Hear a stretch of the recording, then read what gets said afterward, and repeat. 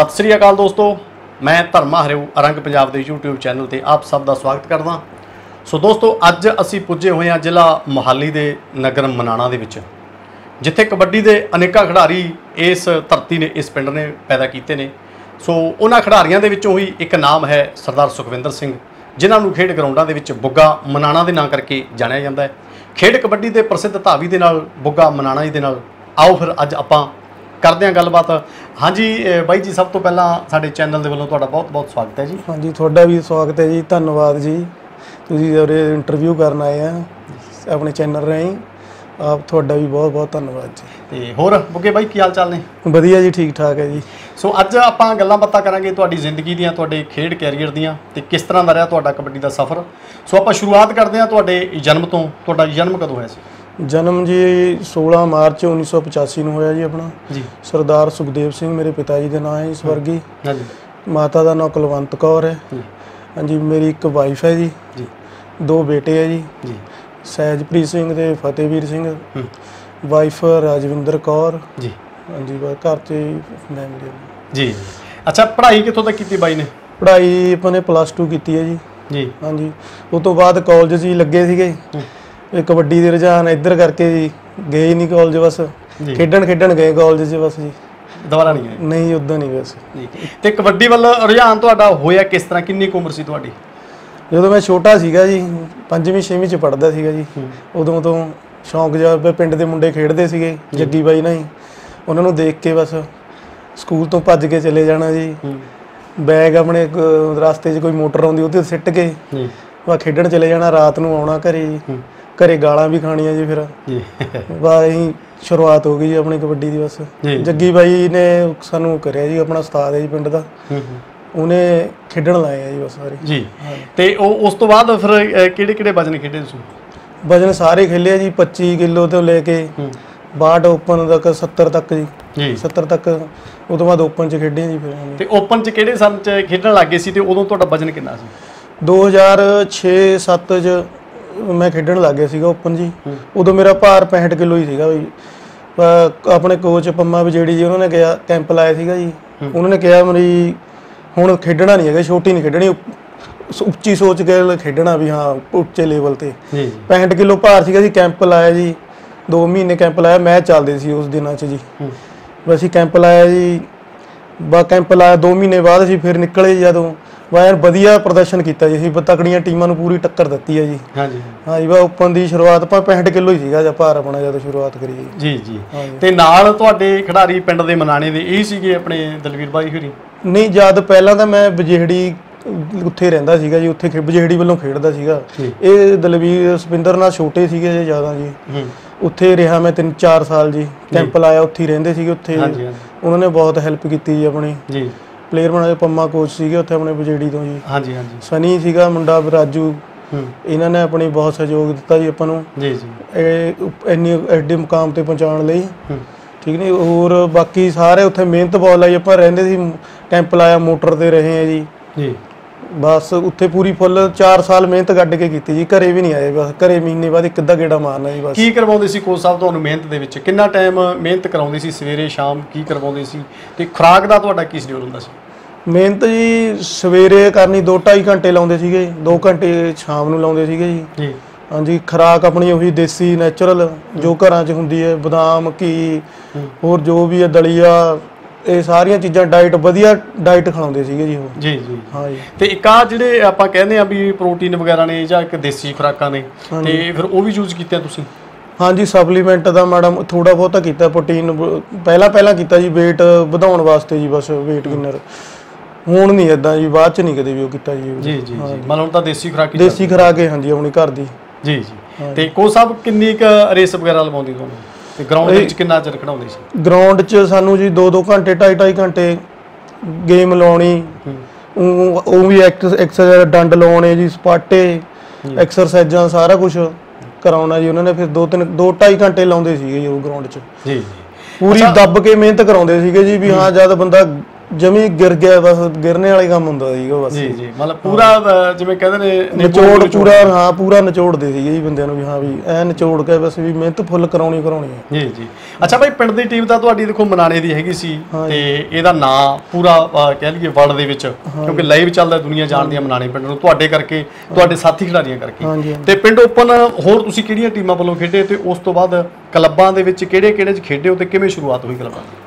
ਪਿੰਡ ਵਾਰ ਜੀ ਮੈਂ ਜ਼ਿਆਦਾਤਰ ਬਜੇੜੀ 'ਚ ਖੇਡਿਆ ਜੀ ਪਹਿਲਾਂ ਜੀ ਸਭ ਤੋਂ ਜ਼ਿਆਦਾ ਤਾਂ ਜੀ। ਹਾਂਜੀ। ਉਹ ਤੋਂ ਬਾਅਦ ਧਨੌਰੀ 'ਚ ਵੀ ਖੇਡਿਆ ਜੀ। ਜੀ। ਉਸ ਤੋਂ ਬਾਅਦ ਵੀ ਫਿਰ ਆਪਣੇ ਪਿੰਡ ਦੀ ਟੀਮ 13 2013 ਚ ਬਣ ਗਈ ਫਿਰ ਆਪਾਂ ਆਪਣੇ ਪਿੰਡ ਦੀ ਟੀਮ ਵੱਲੋਂ ਖੇਡੇ ਜੀ ਸਾਰੇ ਮੈਚ। ਜੀ। ਹਾਂਜੀ। ਫਿਰ ਅਕੈਡਮੀ ਦੇ ਮੈਚ ਜੀ ਜਦੋਂ ਸ਼ੁਰੂਆਤ ਕਰੀ ਹੈ ਜੀ 7 8 ਚ ਜੀ ਚਮਕੌਰ ਸਾਹਿਬ ਚ ਖੇਡਿਆ ਪਹਿਲਾਂ ਮੈਂ। ਜੀ। ਫਿਰ ਇੰਟਰਨੈਸ਼ਨਲ ਕਲੱਬ ਰੋਪੜ ਚ ਖੇਡਿਆ ਜੀ। ਜੀ। ਉਦੋਂ ਬਾਅਦ ਰਮਦਾਸ ਕਲੱਬ ਗੁਰਦਾਸਪੁਰ ਸਤ- ਉਹਨਾਂ ਦੀ ਕੁਲਵੰਤ ਰੰਧਾਵੇ ਨਾਲ ਵੀ ਟੀਮ ਸੀਗੀ। ਹਾਂਜੀ। ਉਹ ਚ ਖੇਡਿਆ ਜੀ। ਉਸ ਤੋਂ ਬਾਅਦ ਫਿਰ ਮੈਂ ਮੋਹਾਲੀ ਚ ਖੇਡਿਆ ਜੀ ਬਾਬਾ ਹਨੂਮਾਨ ਅਕੈਡਮੀ ਮੋਹਾਲੀ ਚ। ਜ਼ਿਆਦਾ ਟਾਈਮ ਹਨੂਮਾਨ ਅਕੈਡਮੀ ਮੋਹਾਲੀ ਚ ਖੇਡਿਆ। ਉਹਦੇ ਆ ਵੀ 2019 ਚ ਉਸ ਤੋਂ ਬਾਅਦ ਬਹੁਦੇ ਚ ਖੇਡਿਆ ਫਗਵਾੜੇ ਦੀ ਟੀਮ ਚ ਜੀ। ਜੀ ਜੀ। ਸੁਚੈਨਾ ਕਲੱਬ ਫਗਵਾੜੇ ਚ ਜੀ। ਹਾਂਜੀ ਹਾਂਜੀ। ਐ ਤੇ ਬਾਹਰਲੇ ਮੁਲਕ ਤੇ- ਦੀ ਸ਼ੁਰੂਆਤ ਕਦੋਂ ਹੋਈ ਤੇ ਕਿਹੜੇ ਕਿਹੜੇ ਮੁਲਕਾਂ ਦੇ ਵਿੱਚ ਤੁਸੀਂ ਖੇਡੇ ਹੋ? ਬਾਹਰ ਦੇ ਮੁਲਕਾਂ ਦੀ ਸ਼ੁਰੂਆਤ ਜੀ ਮੈਂ 2010 ਚ ਗਿਆ ਸੀਗਾ ਕੈਨੇਡਾ ਜੀ।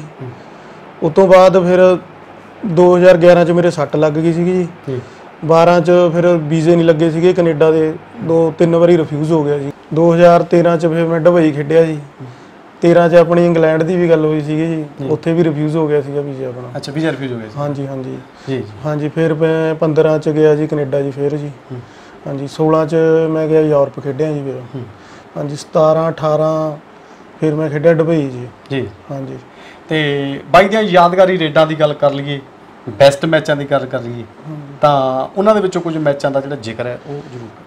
ਬਾਕੀ ਦੇ ਜੀ ਸਾਰੇ ਹੀ ਆਪਣੇ ਯਾਦਗਾਰੀ ਹੁੰਨੇ ਮੈਚ ਜੋ ਵੀ ਹੈਗੇ। ਪਰ ਆਪਣੇ ਜਿਹੜੇ ਬਾਲਿਓ ਹੋਇਆ ਸੀਗਾ ਟੂਰਨਾਮੈਂਟ ਸਮਰਾਲੇ ਕੋਲ। ਉੱਥੇ ਸੀਗਾ ਸਾਰੀਆਂ ਵੀ ਸੁਪਰਸਟਾਰ ਟੀਮਾਂ ਹੀ ਸੀਗੀਆਂ ਸਾਡੀ ਸਾਰੀਆਂ ਉੱਥੇ। ਜੀ ਆਪਣੇ ਸਾਰੇ ਉਹਨਾਂ ਮੈਂ ਉਹ ਟੀਮ ਮੇਨ ਟੀਮਾਂ ਨਾਲ ਹੀ ਮੈਚ ਲੱਗੀਆਂ ਜਿਵੇਂ ਦੜਬਾ ਹੋ ਗਈ ਸਾੜੇ ਦੀ ਟੀਮ ਵਧੀਆ ਸੀਗੀ। ਅੱਛਾ ਜੀ ਸੋਹਾਣੇ ਦੀ ਟੀਮ ਸੀ ਖੀਰਾਂ ਵਾਲੀ।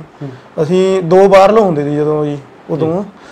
ਦੋ ਬਾਹਰੋਂ ਸੀਗੇ ਤੇ ਅਸੀਂ ਉਸ ਮੈਂ ਉੱਥੇ ਮੈਨੂੰ ਇੱਕ ਵੀ ਜੱਫਾ ਨਹੀਂ ਸੀਗਾ ਜੀ ਸਾਰੇ ਦਿਨ ਚ ਕੋਈ ਜੱਫਾ ਨਹੀਂ ਸੀਗਾ। ਆ ਰੇਡਾਂ ਵੀ 20 20 25 25 ਦਿੰਦੇ ਸੀਗੇ।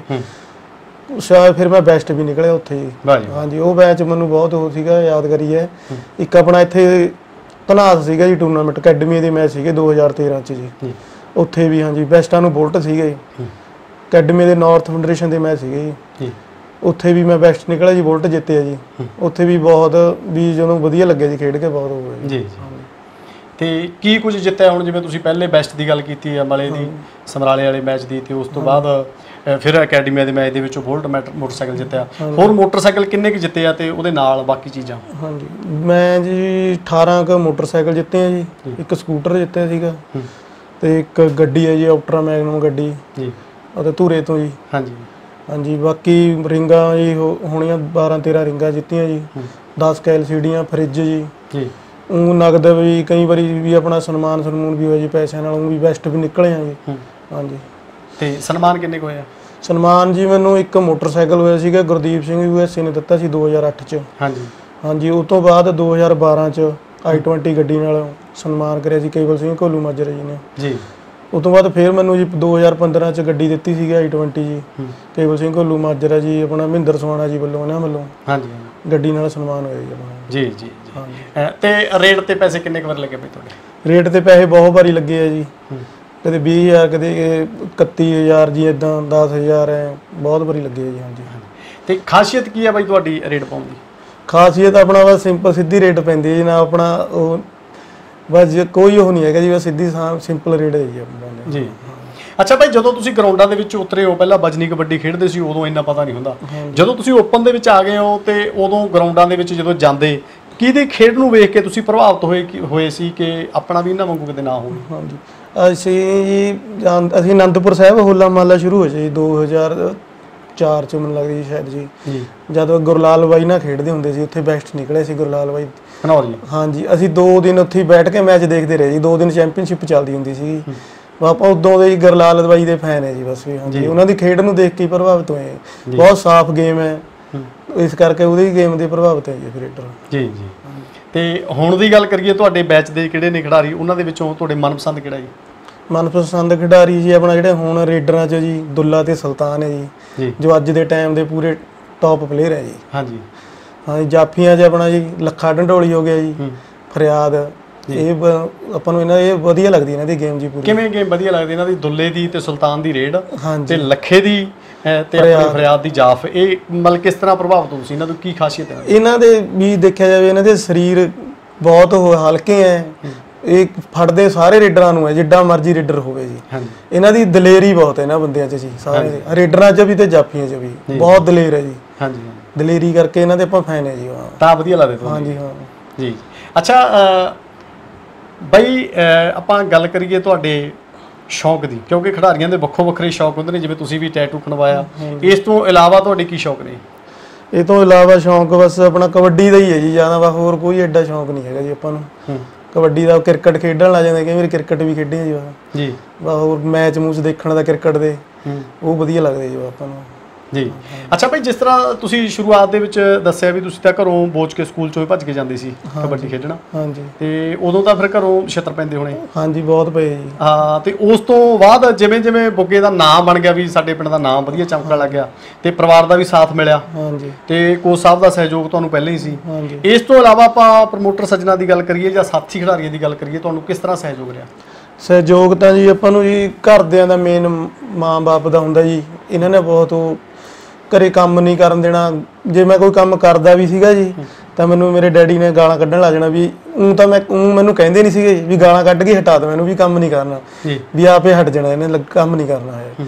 ਮੇਰੇ ਮਾਂ-ਬਾਪ ਦਾ ਸਭ ਤੋਂ ਜ਼ਿਆਦਾ ਤਾਂ ਸਹਿਯੋਗ ਹੈ ਜੀ। ਹਾਂਜੀ। ਉਸ ਤੋਂ ਬਾਅਦ ਜੀ ਆਪਣੇ ਇੱਥੇ ਬਾਕਰਪੁਰ ਡੇਰਾ ਜੀ ਪੀਰਾਂ ਦੀ ਜਗ੍ਹਾ ਹੂੰ।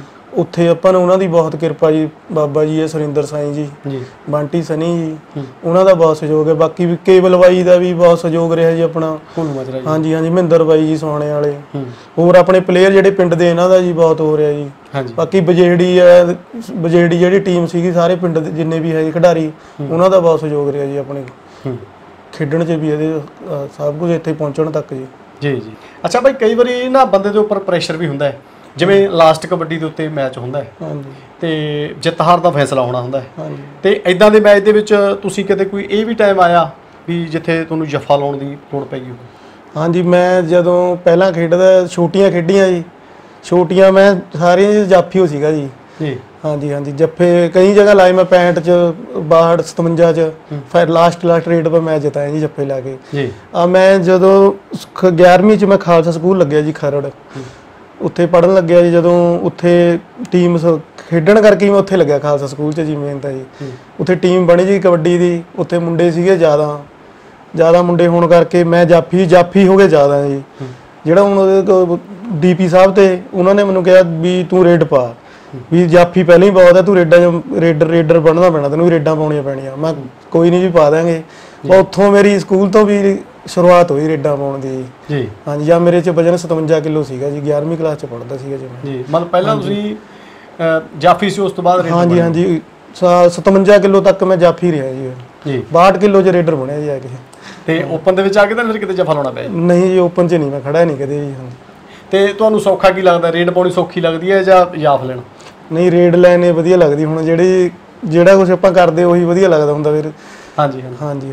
ਤੇ ਤੁਸੀਂ ਓਪਨ ਦੇ ਮੈਚ ਖੇਡਦੇ ਹੋ ਕਲੱਬਾਂ ਦੇ ਮੈਚ ਖੇਡਦੇ ਹੋ ਇਹਨਾਂ ਦੇ ਵਿੱਚੋਂ ਕਿਹੜਾ ਮੈਚ ਖੇਡ ਕੇ ਵਧੀਆ ਲੱਗਦਾ ਜੀ?